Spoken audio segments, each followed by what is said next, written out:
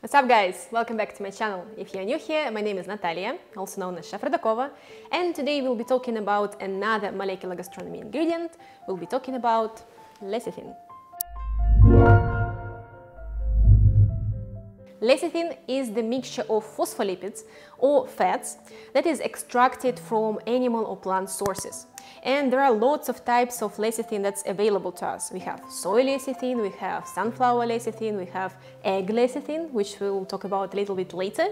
And we also have powdered and liquid lecithins.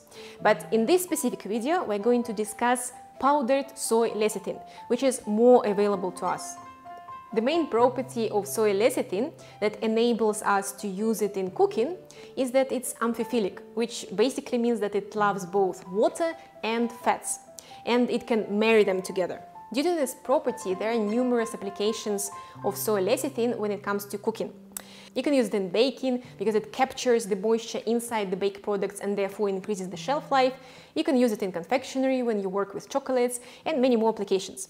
But today I'm going to show you one, probably the most important application of soy lecithin uh, when we use it for emulsification and one probably the most fun application when we use it uh, to make edible airs and bubbly foams. Okay, it's been a lot of talking right now, but I just need to say a few more words to you before we start cooking. So let's first look at the first application, emulsification. When cooks usually think about emulsions, they think about mayo, vinaigrette, hollandaise, and other sauces. And that's correct. But let's look at the first two now. Look at mayo and vinaigrette. Both are emulsions, but one is more stable than another one. I'm talking about mayo. Why do you think mayo is more stable? Because of the eggs. Eggs, they have lecithin inside, so all the sauces that are based on eggs, they would be more relatively stable than the ones without them. And if you want to make your sauce, your emulsion more stable, you can also use uh, lecithin. And if you want to make your sauce or emulsion more stable, but you don't want to add the eggy texture and um, taste, you can use soy lecithin, for example. And that's what we're going to do right now. And on another note, before we start, if you want to make your emulsions even more stable and prolong their shelf life, so in, case, in case of mayo, for example, where you already have uh, lecithin, you can use not one, but two or three emulsifiers. So for this recipe, we're going to use soy lecithin and xanthan gum.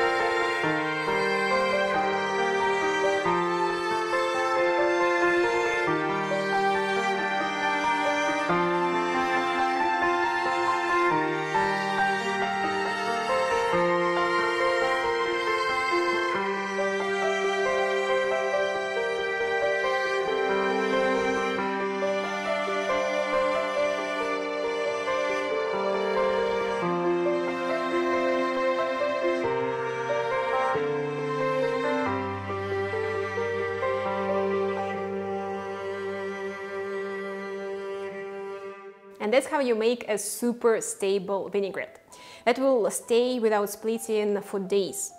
And while I was actually making this video, I noticed that I forgot to tell you why do we use uh, both of uh, these emulsifiers, why we use both soy lecithin and xanthan gum.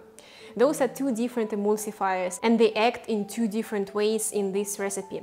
So lecithin keeps the water and fat molecules together and xanthan gum, it thickens a little bit the mixture. As you notice, the amount is very, very small, so it's not really noticeable, but on the molecular level, it is noticeable. It thickens the mixture and allows uh, fatty molecules to move very slowly inside the water molecules, so they don't come back together and separate in the mixture.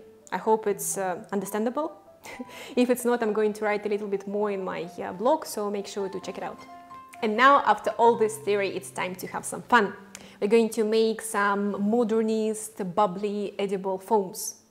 I already actually made a couple of videos on this subject and you can check here if you want to learn more about edible foams. But now, let's start cooking.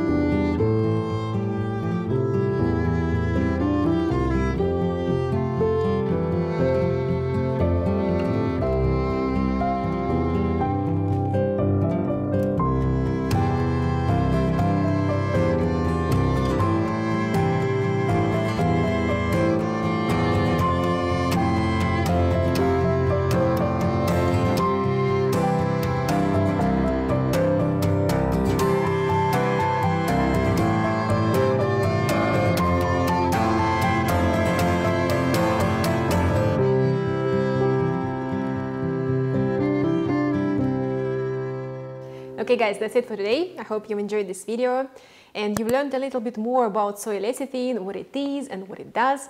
And most importantly, I really hope that it gave you some ideas how you can use soy lecithin in your own cooking and how you can make some incredible dishes, which by the way, don't forget to share with me because I really like to see your pictures. I'll be making more uh, videos on uh, culinary foams in the future, so make sure to subscribe to my channel if you haven't done it already, and I'll see you in the next video.